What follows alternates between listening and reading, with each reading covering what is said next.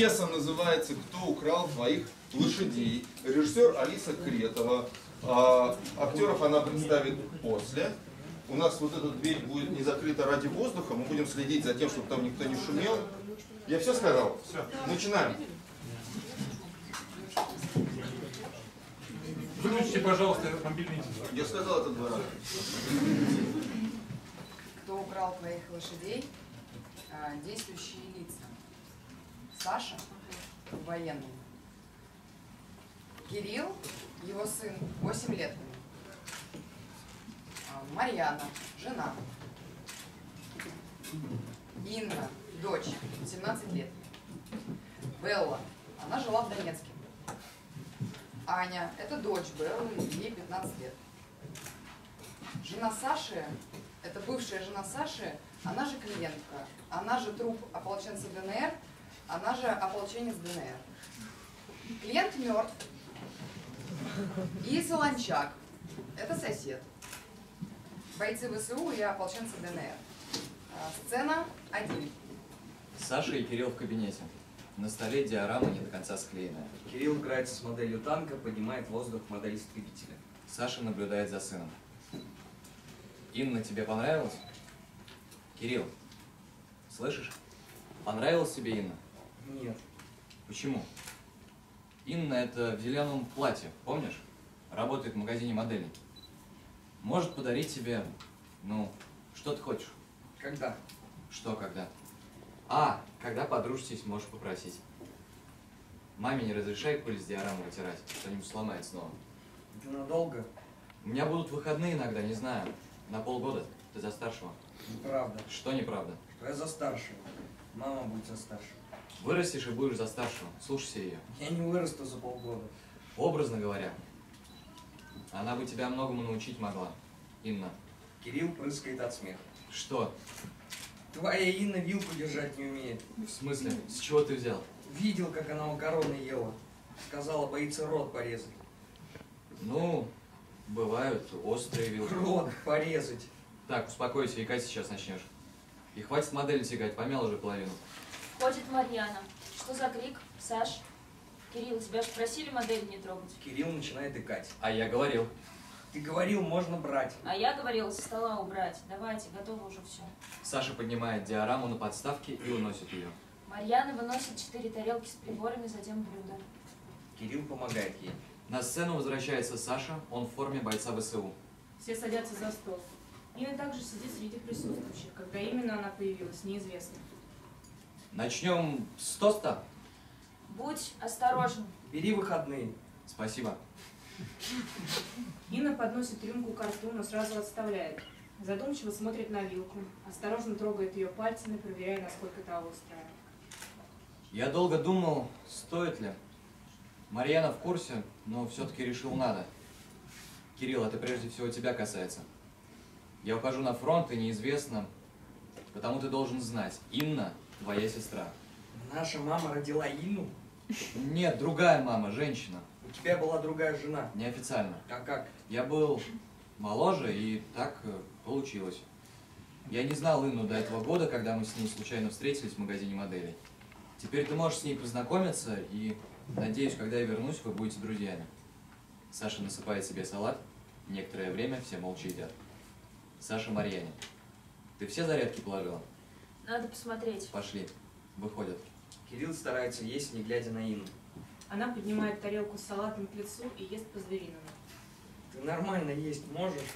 Я ем нормально. Ты с дуба упала? Как? Из лесу вышла? Да, Все равно ты не настоящий. я настоящая. Незаконный ребенок, значит, не настоящий. Кто так сказал? Папа. Возвращаются Саша и Марьяна. Я пошел. Звони чаще. Внимательным будь. Инна, я на тебя надеюсь. Саша уходит. Марьяна начинает собирать тарелки. Поможешь? Кирилл собирает тарелки и уходит. Вы такая молодая, уже работаете. Вы давно работаете? Нет. Я знаю. Раньше в магазине мужчина был. Забрали на войну. Мобилизация. Я просто всегда удивляюсь, когда... А трудовая у вас есть? Нет. Вот, это так по-украински. Большой магазин и никаких гарантий. Мужчина до меня несколько раз бил покупателей. Они рады, что теперь я. Понятно. Тут я по той же причине. Я не совсем... Чтобы никто никого не бил. А кто тут кого бьет? Может бить. Может бить. Потому что идет война. Поэтому мой отец на меня надеется. Инна, мне кажется, вы не совсем правильно поняли. У вас есть село? В области есть дом, но я не... Тебе пора паковать чемодан сына. Марьяна встает и уходит. Инна выходит из-за стола, садится на пол и достает из кармана несколько моделей людей. Ставит их перед собой. Я на тебя надеюсь. Ты с дуба упала? Хоть трудовая у тебя есть? Девушка, за 180, пожалуйста. Нет, истребитель. Спасибо, да. Я прошу прощения, вы не могли бы повернуться вот так, в профиль и вверх посмотреть? Кого это напоминаете? Может, подожди, стоп, стой. Причем тут растление несовершеннолетнего? Мне уже 16, 16 было, и я сам кого хочешь мог растлить. Только она хотела ребенка, чтобы к себе привязать. Для чего еще вы... Нет, я не то хотела, прости. Кирилл — это иначе. Конечно, это настоящее. А тогда, ну что, я сказала ребенку не хочу, она сказала хочет. Я ушел. Девушка, а не могли бы вы... э, Нет, другую коробку. У меня странный вопрос, но сколько вам лет? Потому что я, кажется, на меня совсем не похожа, только на мать. Так и узнал. Глаза те же, раскосые слегка. Лицо такое, знаешь, дикое. А работа хорошая, ни бара, ни отель. А так только готмены всякие за моделями приходят, никто цепляться не будет. Я предлагал нашу контору устроиться, она не хочет. Тут, конечно, профильное образование нужно, может, со следующего года. Ваш отец, вы знали? Ну да, да. Умеете, наверное, ощущать, когда... Подождите, дошло. Магазин моделей. Специально, чтобы меня встретить. У нас с ней все с этого началось, с моделей. Знаете, семейное дело. Но я имел в виду, да, все правильно. Ей понравились мои модели, потом понравился я. Теперь уже не скажешь, конечно. Я сходил, все в порядке. Начинаю рюкзак собирать, десятого еду. Ну чего, ну чего ты? Зарплаты каждый месяц, форму дадут, кормить будут. Но сбегать же я не стану. Я хочу вас попросить. Это нагло, но я иду на войну и времени нет. У меня есть сын Кирилл.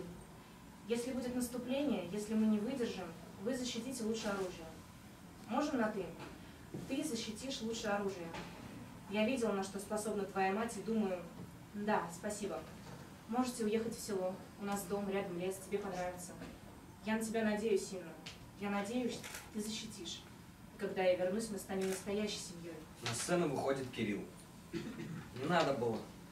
Как ты сказал? Я сказал, что папа вернется и по жопе им даст. А ты вообще ум есть? Они хотели тебя дерьмом вымазать, коровьем. Нет, конечно нет. Не поговорить просто. Они знали, что в этом году твой отец не с тобой, что у тебя дорогой планшет. И они измазали бы тебя коровьим дерьмом по самой... Хватит уже. Кирилл садится на пол, некоторое время молчит. Собаку пристрелить теперь. Жаль. А ты не хочешь ее спасти? Почему я должна этого хотеть?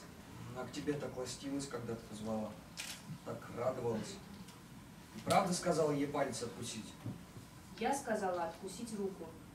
Глупая собака. Теперь, как Донецкий будет, вот с хаты не выходи. Не переживай, скоро все изменится. Может, не надо? Не переживай. Сцена 2. Саша сидит с автоматом в руках, прислонившись спиной к промышленному холодильнику. Некоторое время молча смотрит в зал. Я устал. Устал. Я так устал. Саша встает, открывает холодильник. Там лежит труп ополченца ТНР. Саша молча смотрит на него, потом закрывает холодильник и снова садится на пол. Когда устаешь, начинаешь забывать. До скольки умеет читать сын, о чем были духи, которые не купил жене, потому что купил хлебопечку. То первым пек в ней хлеб, запах жены, когда лежит рядом. Ни одной фотографии не взял. А почему? Почему? Саша поднимается, открывает холодильник. Я тебя спрашиваю, почему? Саша отходит от холодильника. И какие паскудные сны. Вчера про Венгрию. Она купила два билета, взяла Кирилла и улетела вон с той взлетной полосы. На курорт, на море. И я думаю, ебаный в рот, Марьяна. А она говорит, ребенку нужны хорошие воспоминания про лето. Откуда это? Откуда эта неведомая ебаная хуйня каждые 20 лет? Хорошее описание наших отношений. Труп ополченца ДНР садится в холодильнике. Потому что когда я оглядываюсь на эти три с половиной месяца, то да, неведомая ебаная хуйня. Ты в аэропорту живешь? Я охраняю аэропорт. Многие претендуют. Прости, ты что-то говорил? Что-то про Венгрию, жену с ребенком. Оставил ей пин-код от всех кредитов, выгребай. Хотя отпуск с ребенком это всегда морока, так что можешь не, не переживать, что она получит удовольствие. Не тебе говорить о детях. Не мне. Подробнее описать, как ты родила ребенка, о котором я тебя не просил? А меня должно интересовать твое мнение? Нет. Подожди, а ты внимательно слушал, когда я говорила, сколько мне лет? Я читал, что когда вы говорите вечность, это пиздеж, потому что вы считать не умеете. Это правда, но сейчас не важно. А ты когда-нибудь думал, сколько детей я родила за тот отрезок времени, который вечность? И какой порядковый номер у тебя, и сколько было после тебя? Нет, что я действительно хочу знать, какое соглашение ты заключил с моей дочкой. Не было никакого Ну, соглашения. конечно, было. Она делает что-то странное в этом селе, и я хочу знать, что. Пойди и спроси. У меня много детей, и не со всеми разговор складывается. И я уже здесь. Что тебе мешает ответить на мой вопрос? Ты мне не нравишься. 20 лет назад ты считал иначе. 20 лет назад ты не приходила в теле дохлого сепара. Это окончательный ответ? Да, Ладно, поговорим позже, с другими условиями. не будет никаких условий. Передумаешь. Сцена 3. Белла и Аня сидят у старого дома.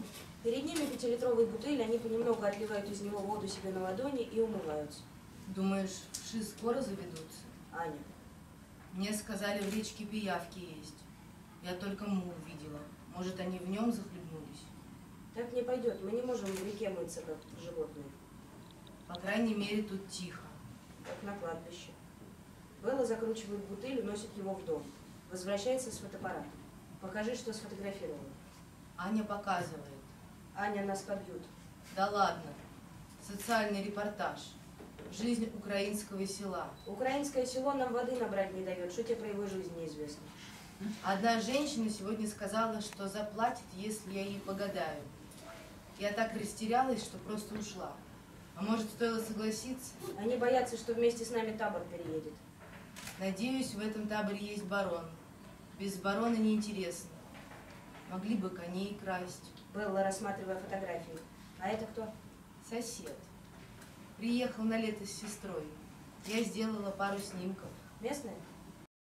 Пиво. Но это их дом. Колодец есть? Можно спросить. Белла уходит в дом. Аня делает несколько снимков двора. Тут есть такая штука, распознаватель лиц. Кирилл входит. На самом деле нет. Но привет, как тебя зовут? Кирилл. Меня Аня. Пришел с друзьями, меня нет друзей. а сестра. Она мне не сестра. Интересное начало. Подбородок чуть выше. Спасибо. Так почему сестра не сестра? Она не настоящая. Не родня? Кирилл мотает головой. А у вас есть колодец? Можно попользоваться? Там плохая вода. Лучше плохая, чем никакой. Больше нам никто не дает. Потому что вы Донецкий. Нет, потому что мы ромы донецкие. Кто такой Ром?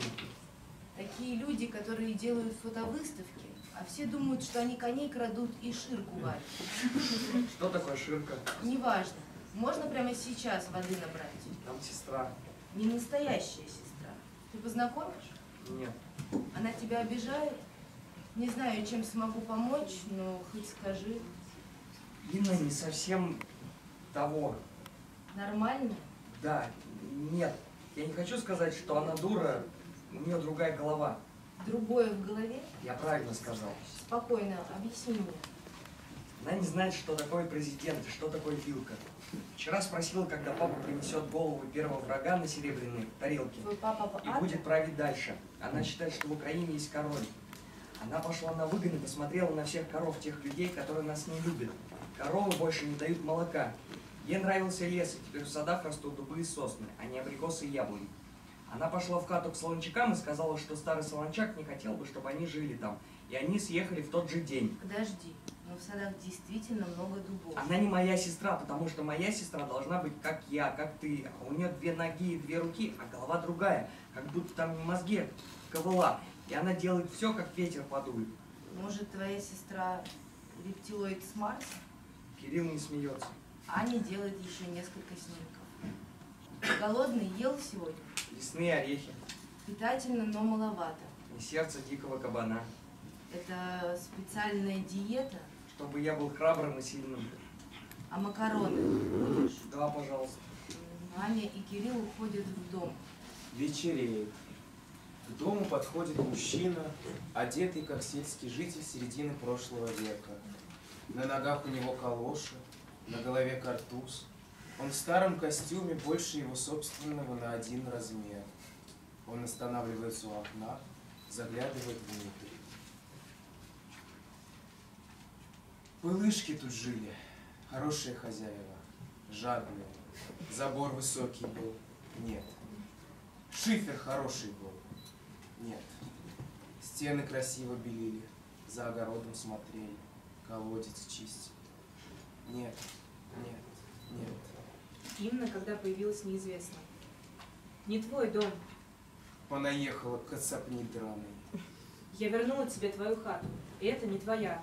Уходи и не возвращайся сюда. Из дома выходит Белла. Какие-то проблемы, добрый вечер. У вас колодец был грязный. И есть. Мы почистили. Вы? Я Инна, а это Солончак. Мы ваши соседи. О, хорошо, даже очень хорошо, мы уже не знали. Злые люди не давали вам воды, их накажут. Не волнуйтесь об этом. И вообще не волнуйтесь. Вы мне нравитесь, Белла. Из дома выходят Аня и Кирилл. Кирилл, Кирилл подходит и становится рядом с ней. мой брат переживает, что мы мало общаемся с людьми. Завтра у нас семейный ужин. Я бы хотела, чтобы вы пришли. Придете? Да, спасибо. Инна, Кирилл и Солончак уходят. Дождавшись, пока они уйдут, Белла вытягивает из колодца ведро воды и пробует. Дает попробовать Ане. Высокие деревья обступают их. Это не абрикосы и не яблони. Сцена 4. Саша сидит в картонной модели диорамы старого терминала Донецкого аэропорта. Мы были в зоопарке, смотрели на медведя, который загрыз девочку. Она хотела накормить его конфетой. Медведя как раз перевели в этот, другой зоопарк, и нам сотрудники зоопарка сказали, скажите спасибо фильмам и мультфильмам, хорошим сказкам и рекламе спасибо скажите за то, что ваши дети не боятся того, чего должны бояться, от чего адреналин должен выплескиваться в их кровь, в их мозг и сердце. Скажите спасибо, что они не убегают, что кормят конфетами. Моя бывшая жена не водила меня в зоопарк, она слишком деликатна для этого. К тому же, я думаю, это старая травма. Мою бывшую жену обижают люди, чья жизнь проходит по ту сторону ограды. И она хорошо знает, как пригласить каждого способного в свою клетку. Я был очень способный, и моя бывшая жена полюбила меня за это, а она не знает несчастливой любви. Если бы мы встретились сейчас, она помогла бы мне принести голову первого врага на серебряной тарелке. Она бы сделала меня главнокомандующим, она бы сделала меня королем. Но мы встретились 20 лет назад, и она сделала меня отцом. А дети всегда остаются с матерью. В этом царстве и другом. И в другом царстве нет элементов, а есть только ограда и зверь, и вы по одну сторону. И никаких конфет. Позади Саши на чем-то, что напоминает земляной холм и сцену одновременно, к микрофону подходит труп ополченца. Он поет песню Дэвида Боуи «Wild is the wind». Сцена 5. Жаркий летний день, полдень. Огромный ухоженный плодовый сад. Вдалеке можно разглядеть трехэтажный дом. Марьяна стоит рядом с огромным деревом, расколотым молнией. Не выдержав ожидания, набирает номер на мобильном. «Привет. Не разбудила? Ну ты только год как перестал спать в обед, так что... Расскажи что-нибудь. Я тут жду клиентов, а погода такая, что только грешников жаль. Нет, без тебя и папа на Днепр не хожу. Только на работу и домой. Инну не достаешь, надеюсь? И не доставай. Друзья какие-то? Ого! Девочка и фотограф? Сколько? Ого! Ой, Кирилл, прости, все, идут мои клиенты. Не балуйся там, кушай хорошо пока. К Марьяне подходит клиент и клиентка. Они одеты слишком шикарно. Клиент в костюме блестящих туфлях, на голове у него шляпа. Клиентка в длинном вечернем платье, на высоких каблуках. Простите, сад такой большой, мы немного прогулялись. А может, для начала посмотрим дом? Дом нас не интересует. Как скажете. Э, Тут 3 гектара земли, около 300 плодовых деревьев, еще около 100 неплодовых. Большинство посажено в 80-х. Первый хозяин хорошо поработал с планированием. а В дальнейшем требуется только Вам поддержка. нравится это дерево? Ну, это вишня. Нет, конечно, после приобретения можете вырубить и посадить новую. Один удар молнии и все. Такую архитектуру я понимаю. Слишком зависит от случая. Вы тоже зависите. Сегодня надели тесное платье, можете упасть в обморок в рабочее время. Клиенту позаботьтесь о даме. Клиент вытягивает платок и отдает его Марьяне. Спасибо.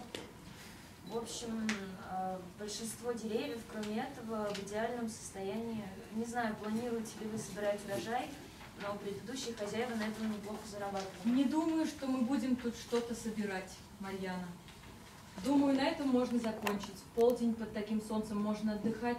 Вы прошлой ночью почти не спали. Готовила договор на продажу. Позаботьтесь о даме. Клиент снимает пиджак и кладет его на землю под вишней, сажает Марьяну и сам садится рядом. Это правда лишнее. Не волнуйтесь. Мы услышали все, что хотели услышать. Это хороший сад. Нам тут нравится. Вам тут понравится. Отдыхайте. Голова Марьяны опускается на плечо клиента. Он снимает шляпу, чтобы не мешать ей. Половины головы у него нет. Отдыхайте. Такое условие. Нужно заснуть, чтобы пройти. Материнство не всех украшает. Человеческое тело сплошная загадка, когда доходит до беременности. Но вы стали только лучше. Отличная генетика. Отличный опыт. Мы, мы найдем вам применение. Детей всегда так много. Сад. Вечер. Большой стол. За столом сидит Инна, Кирилл, Белла, Аня. Солончак время от времени наигрывает на скрипке простые мелодии. Инна, вы целый день готовили? Такой стол. Пол села нужно пригласить, чтобы все съесть. Никто больше не придет. А с чего вы порекомендуете начать? Вон там мясо. Внутренности мавки, растертый чугайстром. Тушеные. Любите Коцюбинского? Кого? Аня Солончаку, подайте хлеб, пожалуйста. Ого, вкус странный, горьковатый. Долгая выдержка. Соседи Солончака спрятали мешок с зерном для этого хлеба в 32-м. Забыли место и умерли от голода. Вчера мы его нашли. Спасибо, Кирилл. Вот это абрикос. Полировка. Соседский парень 30 лет назад полез на вершину дерева за этим абрикосом и сломал себе шею. С тех пор дерево родит каждый год густо, но только на верхушке. Ясно. У вина тоже какая-то история. Она из Крыма. А лоза выросла там, где упали слезы крымских татар? Кто такие крымские татары? Некоторое время все едят молча. Теперь время для историй. Расскажите о себе. Что рассказать? Что-то стоящее этого вечера. У нас был город, а теперь его нет. Вот и вся история. Куда он делся? Вы смотрите новости? Никуда не делся. Просто теперь он не наш. Его украли? Да. Верните назад. Армия второй год не может. Нет. Просто люди, которые там живут, люди, которых было больше, чем нас, от нас отплыли очень далеко. И когда мы подплывем к ним, если мы подплывем к ним, если захотим подплывать, нас будут ждать с сосисками, а сосисок у нас нет. У нас их и раньше не было, только арт-галереи. Они поэтому решили, что нам не по пути. И, в общем, это отвратительно, как тошнотворно, знаете. И вы сбежали. Не сбежали. Уехали. Не вернулись. Но вам важен этот город. Да. Почему? Вам важен Киев? Она не из Киева. Ну, другое место, откуда вы родом. Часть того места, откуда я родом, когда-нибудь перейдет мне в наследство. В этом смысле оно для меня важно. Вы тоже унаследуете Донецк? Угу. 50 метров квадратных Донецка. Если они еще не властность ДНР. Уяснить. Почему он для вас важен? Я очень люблю свой район, В самом деле? Такое любить свой район? в котором мы жили, пока я в школу не пошла. Мы жили в новостройках, потом переехали в соседний, там дома постарше. Я очень люблю этот район, который с новостройками и до школы. Я всегда туда хожу, когда мне хочется как-то, ну, дышать воздухом. Летом там лучше всего. Абрикосов много валяются прямо на асфальте, вишен тоже. Мне там очень хорошо. Было хорошо, хочу сказать. Там особых обстрелов нет. Но неважно, в общем, я не хочу думать. Я хочу стеклянный колпак, наверное. Моя любовь – это стеклянный колпак. Я накрыла бы им свой район, потому что это хороший район. Было бы отлично, было бы очень хорошо. У вас есть такой район, Инна? Инна молчит. Ну а вы, Солончак, какая у вас история? Вы первая скрипка оркестра на пенсии? Я играл на свадьбах. Очень любил. Много мелодий знал. Мог день и ночь играть, и еще день, и еще ночь. Работал на тракторе в колхозе. Двигатели собирал и разбирал. Пальцы большие стали в струну не две. Уши слышать перестали, ноги покрутило. Свадеб у нас, правда, тоже мало стало, но я скрипку люблю. Для смычка волос у лучшего жеребца срезал, сам чистил, вычесывал. До сих пор стоит. Вы не прекращайте играть. Нравится? Очень. Сцена 7. За столом сидят Марьяна, клиент и клиентка. Клиент разламывает гранат и дает Марьяне, та ест. Клиентка открывает небольшой флакон с мазью, зачерпнув ее, касается глаз Марьяны. Марьяна улыбается. Сцена 8. Возле меня труп лежал. Мгм, да. В холодильнике таком, длинном. Его закопали. Почему? Вонял. Плохо. Не очень приятно, да. Ты не понимаешь. Мне надо поговорить с бывшим. В самом деле. По телефону не получится. А с чем получится? С трупом? Откуда ты знаешь? Потому что ты рассказывал об этом вчера, и позавчера, и за день до того. Тебя, знаешь, даже снимали для новостей. Холодильник еще такой длинный был. Ты не знаешь, ты знаешь, где ты? А где я? Ты не знаешь, где ты? А где я? Ты в плену. Нет, Да. Это смешно. То, что ты на камеру корреспонденту наговорил, было смешно. Сто тысяч просмотров, комментариев тоже прилично. Это не смешно. Это не смешно. Ты знаешь, как ты попал в плен? Я знаю, как обычно попадают. Да, это была самая обычная история. Все истории в мире очень обычные.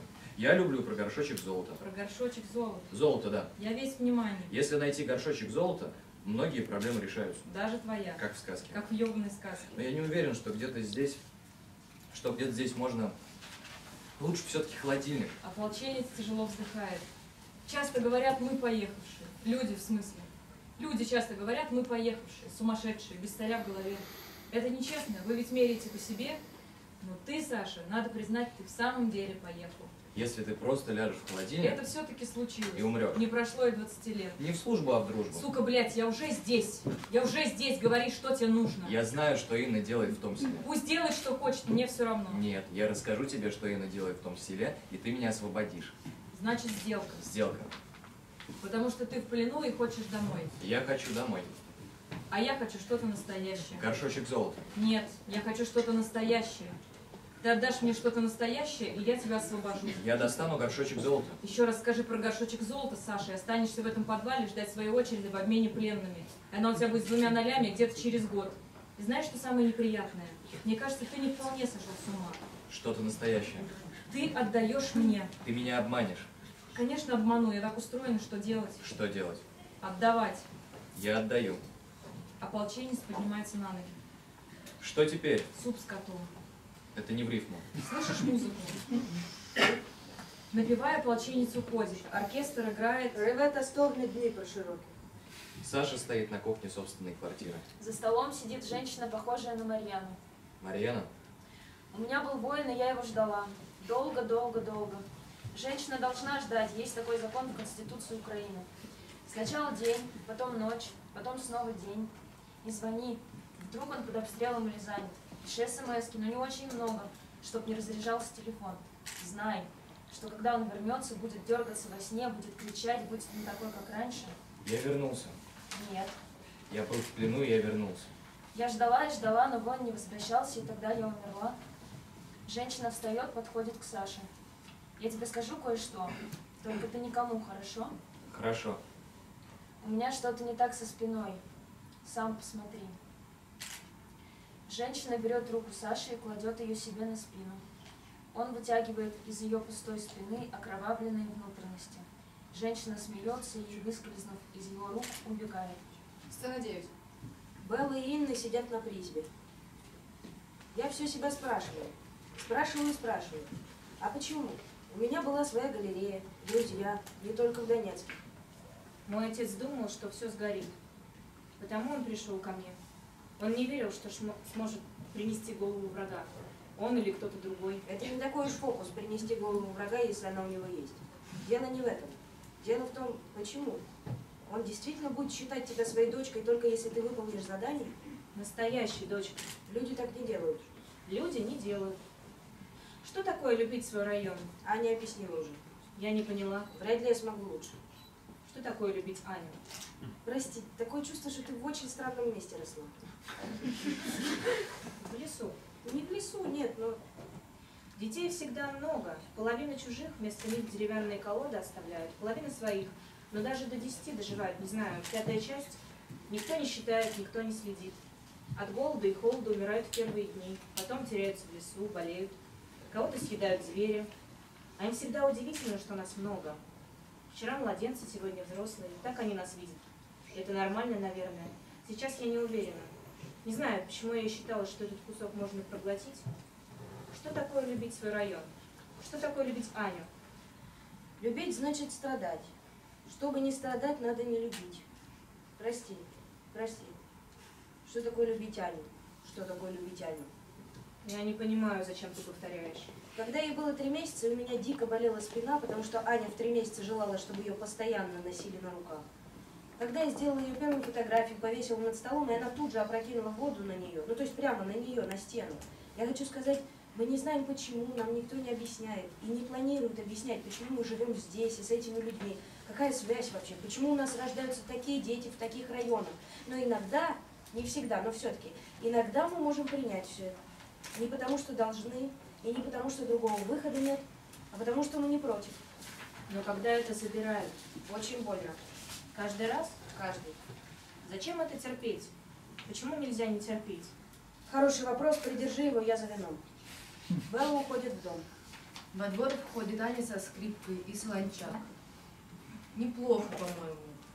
Смычок канифолию не натерла, левую руку расслабь, на правой пальце еще растягивать, свободно кисть. Как ты с такими напряженными мышцами верхние октавы брать собираешься? Мы не концерт Вивальди. Эти песенки тебе кусок хлеба дадут, Вивальди я не уверен. Моя мать любит такую музыку. У нее хороший вкус. Не играй больше. Где Кирилл? Куда-то вышел? Я не разрешала. Ну мало ли, что ты. Белла выходит из дома. Инна, Кирилл в доме? что ты говорила, повтори. Я говорила, Кирилл, Раньше, до того, как я пошла за вином, до того, как мы говорили про районы, про детей, деревянные колоды. деревянные колоды оставляют, когда детей крадут. Вот это да. Иногда заворачивают в пеленки, иногда вырезают лицо. Пеленки, значит, младенцев. Не всегда, просто традиция. Традиция. Я спросила тебя, Кирилл в доме? Нет. Инна Солончакова. Ты знаешь эту землю, спроси, где он. Не здесь. Не в селе, но дальше идти некуда, не сядет же он на автобус. Его нет. Твоя мать. Она вырезает лица на колодах? Да, Зачем? потому что это весело. Я приведу свинью. Белла и Аня исчезают. Солончак приводит свинью. Инна убивает и разрезает ее. Намазывает салом крыльцо. Солончак помогает ей. Они оба в крови. В какой-то момент на крыльце появляется жена Саши. Они с Инной молча смотрят друг на друга. Знала одного скрипача, пришел ко мне забирать жену, уснула под разбитым молнией деревом. Должен был вести ее так, чтобы ни разу не назвать по имени. Не смог. Все еще играет. Забыла, как зовут. Могу забрать и твоего. Верни Кирилла, Он теперь мой, нет. он своих родителей. Мы с его отцом заключили сделку. Он получает волю, а я что-то настоящее. Мальчик мой. Я не разрешаю. Хорошее село. Не возвращай. Помню, как-то... Тебя тут цыгане? Помню, встретила девушку, ей как-то хотели косу отрезать. Принесла в подоле. Большое дело тут. Я ей немного помогла. Сделала так, чтобы волосы у обидчиков росли внутрь головы. Смешная история. Если не отдашь Кирилла, я заберу сама. Да, конечно, приходи и забирай. Вернуться, правда, не сможешь. Но это к лучшему. Нечего тут делать дома лучше. Заберем скрипача, цыган, твоего отца, если хочешь. Никто не захочет с тобой жить. Марьяна захотела. Марьяна, Считай, я первый оценил ее по достоинству. Детей всегда так много. я тебя убью. Нет, я тебя убью, если еще раз увижу. До встречи. Жена Саши исчезает. Некоторое время Инна молчит. Инна Солончакова. Мне нужен отец. Найди. Больно. Ты музыкант, позови песни, которые мы пели. Это больно. Я знаю. Не так. Что? Вы не так должны сказать. Будешь мне указывать? Вы собрали меня из земли, и вы знаете, что я в землю вернусь из-за вас. Вам жаль. Так вы должны сказать. Вам жаль, что мне придется сделать это. Мне жаль. Это не вопрос. Тебе будет не больно, если я что-то скажу. Мне будет больно. Тогда зачем? Люди так делают, так говорят. Мне жаль. Солончак вздыхает.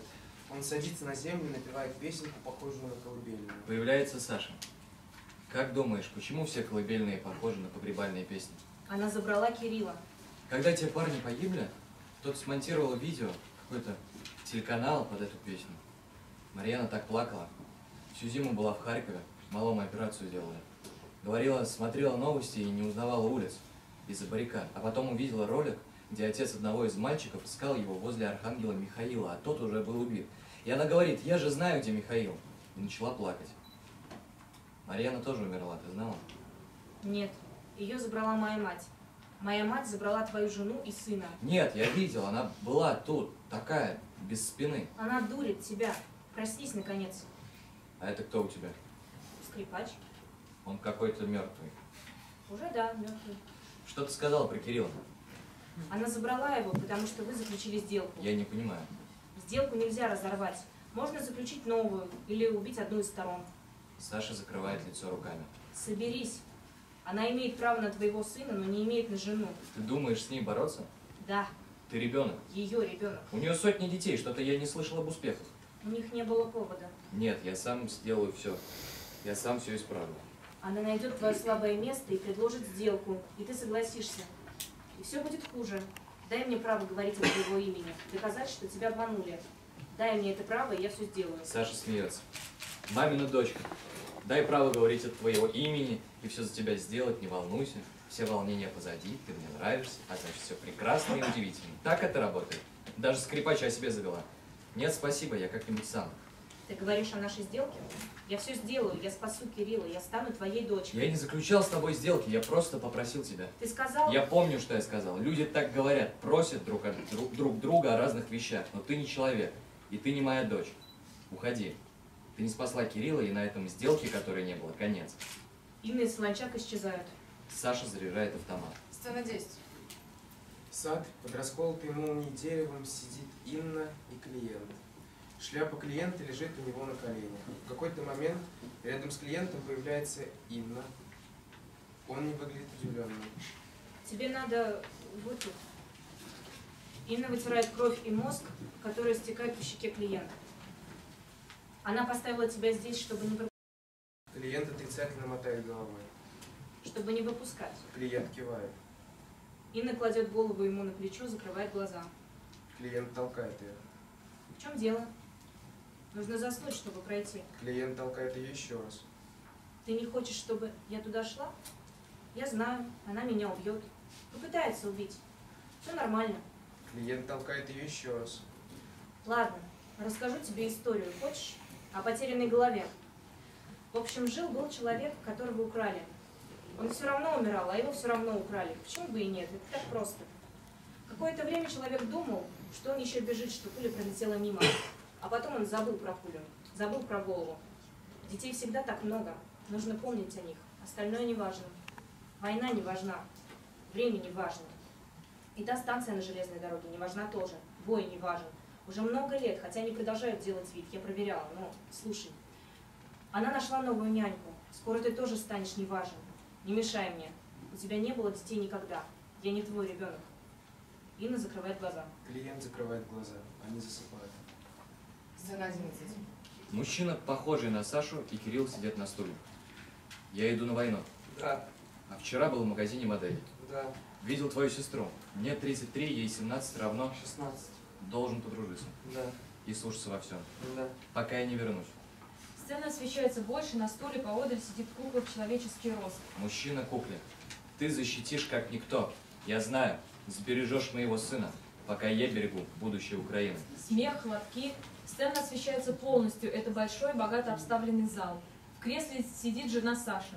Остальное пространство заполнено существами разного уровня антропоморфности и людьми, которые выглядят мертвыми, но таковыми не являются. Среди них Марьяна. Это все, продолжения не будет. Мы работаем, дальше как-то так. Кукла подходит к Кириллу, наматывает на него куски ткани, кормит мотками ниток с ложки. Смешно. Кирилл давится. Тебе тут нравится, Марьяна? Очень. Теперь, когда мой сын со мной, я абсолютно счастлива. Твой муж тоже скоро придет. Это прекрасно. Должна сказать, я быстро его убью. Марьяна вытирает один глаз рукой. Очень грустно. Но мужчина это временно, дети. Вот о чем мы должны заботиться прежде всего. Я убью и свою дочь. Почему? Она мне мешает.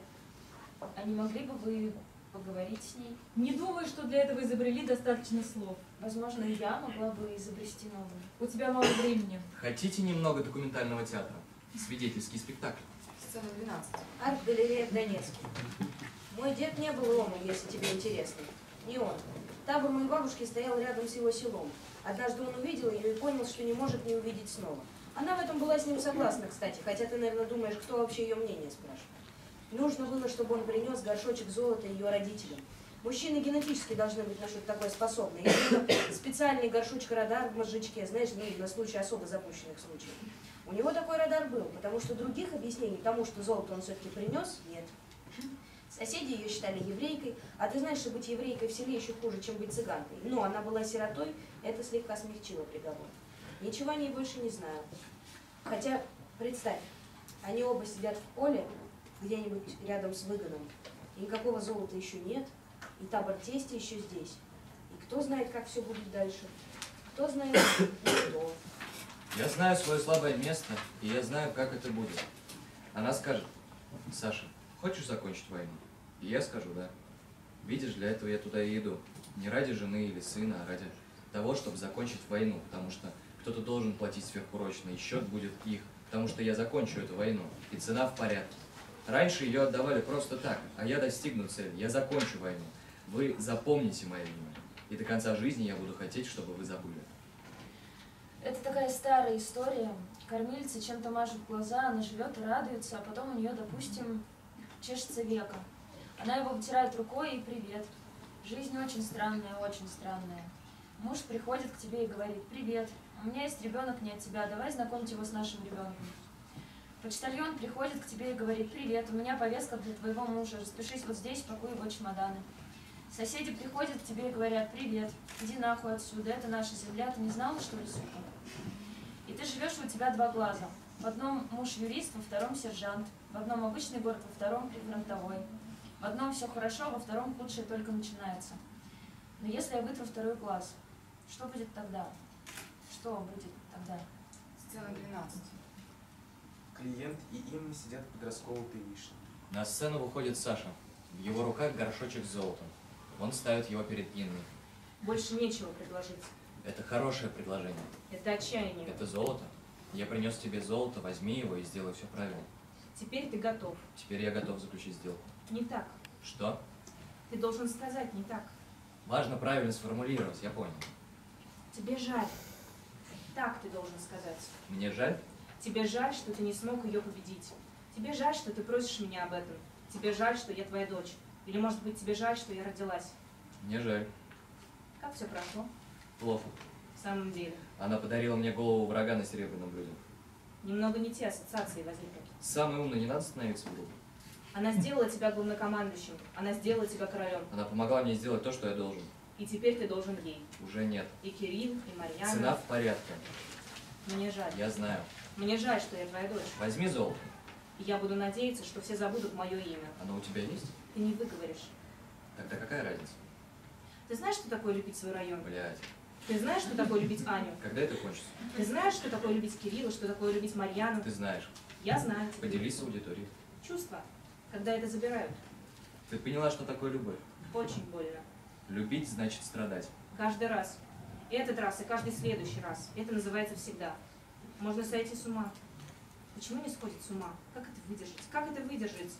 Нужно взять золото. Или меня. Тебя. Хочешь быть дочкой короля Украины? Хочешь быть моей дочкой? Просто сделай все правильно. Просто исправь все, пожалуйста. Убить свою мать, И править ее царством. А когда-нибудь ты унаследуешь и это, если я убью свою мать. если убьешь. Сядь со мной, только не спи. Ты ведь знаешь, тебе нечего предложить, она действительно убьет тебя. Саша садится под расколотым деревом. Как вы познакомились с ней? Расскажи. В магазине моделей. Это я знаю. Она смотрела на человеческие фигурки и смеялась. Человеческие фигурки. Она сказала мне, люди такие смешные, с ними так весело. тобой тоже было весело. Со мной веселее всех. Саша засыпает. Инна засыпает. Клиент толкает Инну в бок, она открывает глаза. Мне так не весело. Так не весело. Клиент поднимается на ноги, берет горшочек с золотом. Один кусочек золота он отдает Инне, спускается в зал и раздает его остатки зрителям. Финал. М, 2015 по март 2016 года.